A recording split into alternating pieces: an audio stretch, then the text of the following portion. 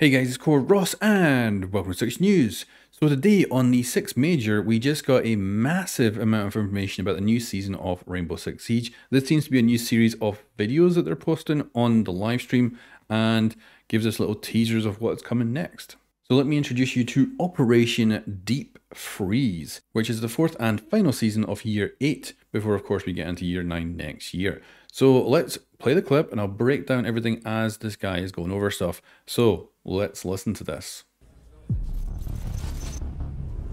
Hello, I'm Dominique Clement, game designer on Rainbow Six Siege. The next season is right around the corner. And if you don't get the latest operator on release, you might still want to review your ABCs on some of the operators already available today in the game. The Electric Bandit, the Wise and the Quiet Mute will be welcoming a new troublemaker into their ranks. So we're getting a new operator who is going to synergize with Bandit, Kaid, and Mute. Now let's keep listening. Ready to give breachers a few headaches. Working out your pulse and soleus muscles will ensure you'll be able to provide invaluable intel to this new operator. So this new operator is also going to synergize with Solis and Pulse, operators who can both see through surfaces like walls and ceilings. And let's not forget about Ela, Fenrir, and our other trap operators who each bring a unique ingredient that can be used in crafting some really crazy strategies with this new operator. So jump into the game and review your basics with these operators. So you'll be ready to synergize with the new operator when it comes out next season. See you then. So he mentioned a bunch more trap operators, but seemed like they were less important than the previous. And then he ended with the new operator as a he. So it sounds like it's a male operator, and of course on defense.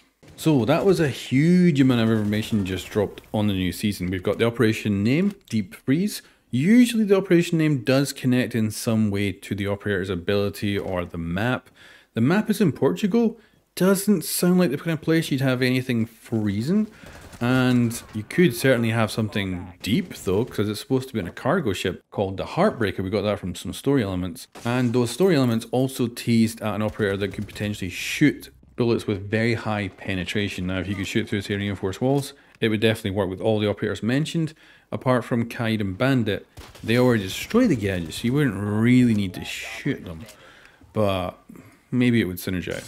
Um, certainly on defense, if you could shoot through reinforced walls, very good. It would also work with the rest of the operators, but the thing is, it doesn't sound like it. From the way this guy's describing it, doesn't really sound like it's going to shoot through walls but it's certainly still a potential option. The other one is going back to the operation's name, Deep Freeze.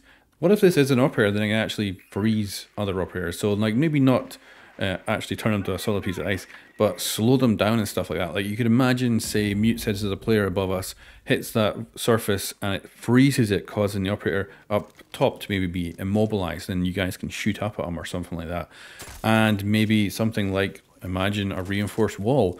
What if you could throw something that freezes that reinforced wall for a short amount of time and stops enemy gadgets from going on so Bandit and Kaid can come down and put their electrics down to then take that stuff out.